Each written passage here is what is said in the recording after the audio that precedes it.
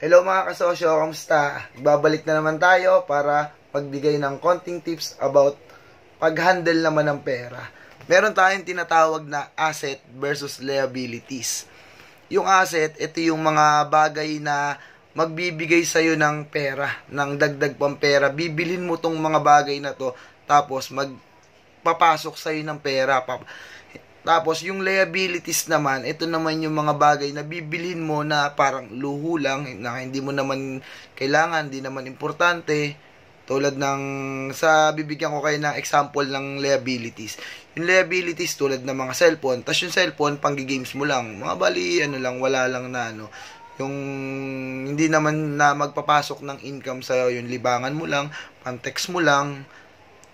Ang asset naman, yun yung mga bagay na magpapasok naman sa ng pera. At halimbawa, ito, bibili ka ng negosyo, bibili ka ng franchise, magpa-franchise ka, yun, asset yun. Kasi, yung bibiling mong yun, gumastos ka doon, pero yung ginastosan mong yun, sa long rally, magpapasok din ng income sa'yo, balang araw na may ipon, bibili ka ng bahay, tapos papaupahan mo ng mga apartment, yun, mga magpapasok sa'yo yun. Tapos, meron nalilito, meron kasing nakaka-confuse sa asset kasi yung tsaka liabilities kasi sinasabi nila minsan yung pag bumili ka ng bahay halimbawa nag-invest ka ng bahay tapos tinitirahan mo ang sinasabi na nila doon asset mo na yon hindi mali yun. Kasi ang bahay magiging asset lang yan halimbawa pag inup pinaupahan mo. Kasi kung hindi mo siya papaupahan gagamitin mo titirahan mo automatic yon yung papakabit ka ng kuryente, papakabit ka ng tubig, tapos yung mga maintenance ng bahay, magbabayad ka ng monthly, puro labas yun. Labas ka ng labas ng pera dun. Hindi nagpapasok yun ng pera. Pero once na pinaupahan mo siya, dun siya ngayon papasok sa pagiging asset. Kasi pag pinangupahan mo, ang magbe-maintenance nun, magpapaganda ng bahay, ng bahay, apartment na binili mo, yung mangungupahan. Kasi syempre, hindi naman nila hayaan na maging pangit yung titiraan nila.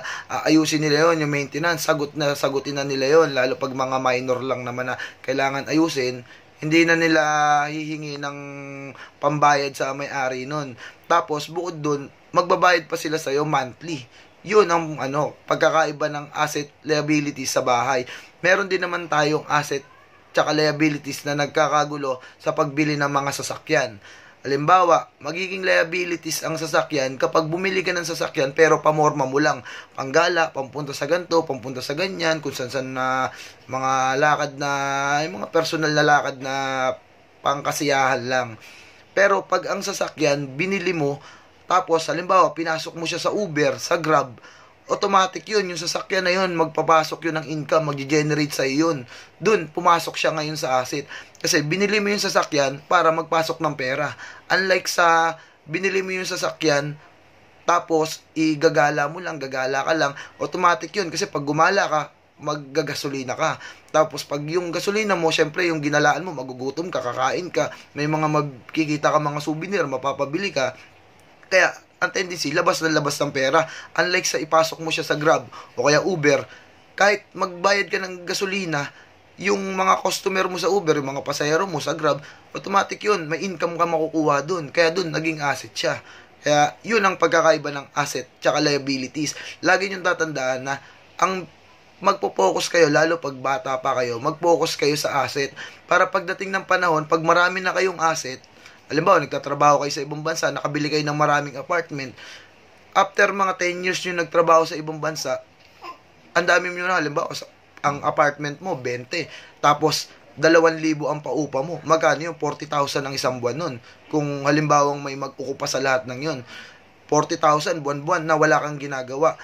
Automatic yun, di mo na kailangan mag-abroad after 10 years. Unlike sa pagbibili mo na kung mga puro mga liabilities, pagdating ng panahon, kailangan mo pa rin magtrabaho na magtrabaho sa ibang bansa. Kumbaga, parang mawawala yung financial freedom mo sa buhay. Kasi, kailangan mo magtrabaho. Trabaho ko ng trabaho. Unlike dun sa nabili mo yung maraming asset, pagdating ng panahon, after 10 years, ang dami ko ng asset, hindi ko na kailangan magtrabaho, imamanage ko na lang to, yung mga business na binili ko, mga apartment, mga sasakyan na pinasok ko sa Grab, sa Uber, imamanage ko na lang yun, automatic yun petics na yung buhay mo, magagawa mo na yung gusto mo, hindi ka matatali sa pagtatrabaho. Na habang buhay ka na lang magtatrabaho, lalo ang mahirap pa dyan pag yung trabaho mo hindi mo talaga gusto. Kasi kumbaga araw-araw kang parang sinasaksak na pumapasok ka lang dahil sa pera. Hindi ka nag enjoy Hindi mo nagagawa yung mga gusto mo, limitado yung oras mo, limitado yung panahon mo, may gusto kang gawin, hindi mo magawa may gusto kang puntahan, hindi mo magawa, gusto mo bisitahin yung anak mo, yung asawa mo, hindi mo magawa kasi nasa trabaho ka, may mga emergency, hindi ka agad makarescue. Unlike sa marami ka ng asset, kadalasan kasi doon nakahawakan mo yung oras mo eh. Lalo pag may negosyo ka, pwedeng yung tao mo na nakuha, nagkaroon ng emergency, o kayo muna dyan, i-handle nyo muna to kasi pupuntahan ko lang tong asawa ko, yung anak ko kasi may sakit eh. Bibisitahin ko, 'di ba? Automatic, masaya, masarap yung ganun, masaya. Na sa pakiramdam na anytime mapupuntahan mo yung pamilya mo unlike sa pag nagtrabaho ka nangamuhan ka sa ibang mga employer na minsan mas masusungit pa hindi ka makakaalis lalo pag abroad ka na may sakit yung anak mo iisipin mo na lang maaawa ka na lang kasi wala kang magawa. Ang magagawa mo lang magpadala ng pera. Yung physical na pag-aalaga hindi mo magawa kasi kailangan mo magtrabaho sa ibang bansa. Kaya yun sana makatulong to sa inyo na mag kapag bigay linaw sa kaisipan nyo para lahat tayo balang araw magkaroon ng financial freedom. Para magawa natin yung gusto natin, magkaroon tayo ng time sa pamilya para mas masaya yung magiging pamumuhay natin, ma-enjoy natin yung mga natitirang buhay natin dito sa mundo. Kasi enjoy lang tayo habang nagsusumikap. Mas maganda na, na masaya ka lagi sa ginagawa mo, hindi yung ginagawa mo, ginagawa mo to kasi may pera dito iba pa rin yung masaya ka sa ginagawa mo tapos nagkakapera ka pa, 'di ba? Sana makatulong 'to. Salamat sa pagsuporta. Patuloy niyo lang panoorin yung mga video natin na sana makatulong lagi sa inyo. Magtulungan tayo, mga kamilyonaryo. Sige, thank you.